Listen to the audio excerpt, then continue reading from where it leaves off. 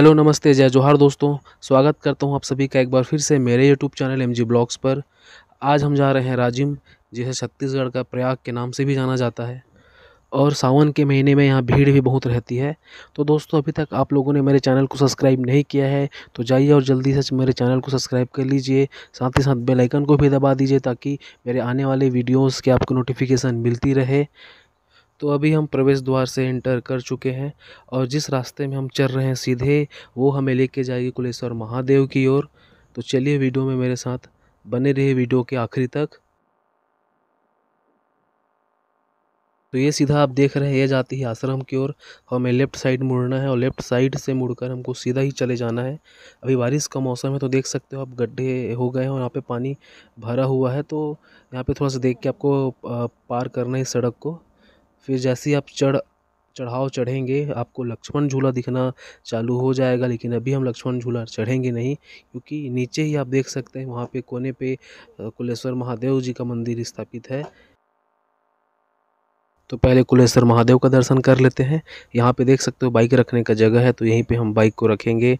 और देख सकते हो यहाँ पे स्टॉल, पूजा सामग्री का स्टॉल यहाँ पे लगा हुआ है, इधर साइड में भी। नारियल वगैरह जो भी है, सब आपको यहीं से मिल जाएगा, यहीं यहाँ से आप खरीद सकते हैं और ऊपर ये देख सकते हैं, यह है कुलेश्वर महादेव जी का मंदिर और यहाँ से देखिए सकरा सीढ़ी से भी आप चढ़ के जा सकते हैं और पीछे साइड भी इसका चौड़ाई, चौड़ा रास्ता है, वहाँ से भी आप ऊपर की ओर चढ़ सकते हैं। तो जूता यहीं पर हम लोग नीचे छोड़ रहे हैं और जूता नीचे छोड़ कर हम चढ़ रहे हैं ऊपर कुलेश्वर महादेव की ओर। तो धीरे धीरे मैं आपको दिखा रहा हूँ आगे, वीडियो में मेरे साथ बने रहिएगा देखिए, हम लोग चढ़ गए हैं ऊपर और ऊपर जैसे चढ़ेंगे तो जो मूर्ति है उसके पीछे साइड और शिवलिंग नंदीश्वर महाराज जी स्थापित किया गया है। मंदिर का ये पीछा, पिछला भाग है, पीछा भाग है ये। देख सकते हो। पीछे इस तरीके से ये दिखता है, यहाँ से लक्ष्मण झूला चालू होता है और ये इधर ऐसे आप उधर से लक्ष्मण झूला से भी चढ़ के आप डायरेक्ट कुलेश्वर महादेव आ सकते हैं। ये बारिश के समय के लिए है। ये देखिए, गेट बना हुआ है, ओम नमः शिवाय का, यह है प्रवेश द्वार कुलेश्वर महादेव जी का। और यहाँ से आप निर्गम द्वार है ये, नीचे निकलने के द्वार है ये। तो इस द्वार से आप अंदर मंदिर की ओर जाएँगे और उस द्वार से आप निकलेंगे। और ये मंदिर का आगे का मैं नज़ारा आपको दिखा दे रहा हूँ। ये जो है श्री साक्षी गोपाल जी का मूर्ति है यहाँ पे। ये भगवान जी यहाँ पे स्थापित किया गया है। और यहाँ पे नंदीश्वर महाराज जी स्थापित किए गए हैं। पीपल पत्ता ना तोड़ ऐसा यहाँ पे इंस्ट्रक्शन दिया गया है। तो चलिए मैं आपको मंदिर से अंदर प्रवेश करके दिखा देता हूँ। तो यहाँ पे आपको दिखाई दे रहा है कुलेश्वर महादेव जी का मूर्ति। देखियो मैं जूम करके थोड़ा दिखा दे रहा हूँ। तो ये इस तरह से है।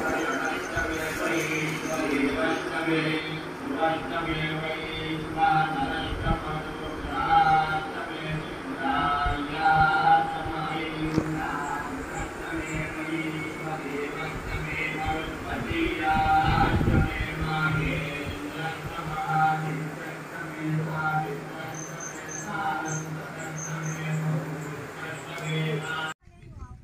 तो देख सकते हो गाइस यहाँ से ये पूरा नदी है, इसमें पूरा पानी भरा रहता है और ऐसा माना जाता है, ऐसा कहा जाता है कि इतना भी इस नदी में पानी आ जाए, ये जो कलेश्वर महादेव का मंदिर है, ये कभी नहीं डूबता है।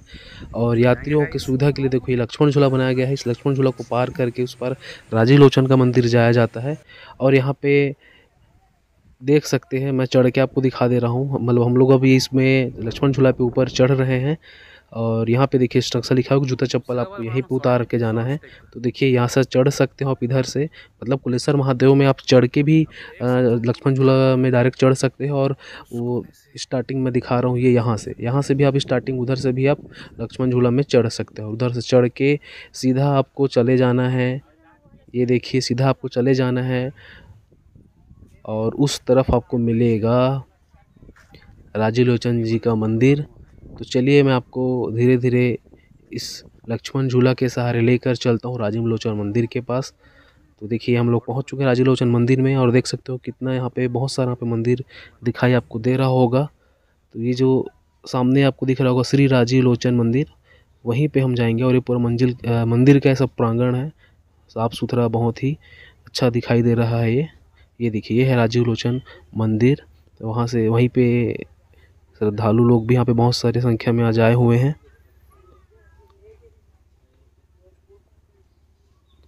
तो चलिए यहीं पे हम चप्पल वगैरह छोड़कर ऊपर की ओर चढ़ते हैं।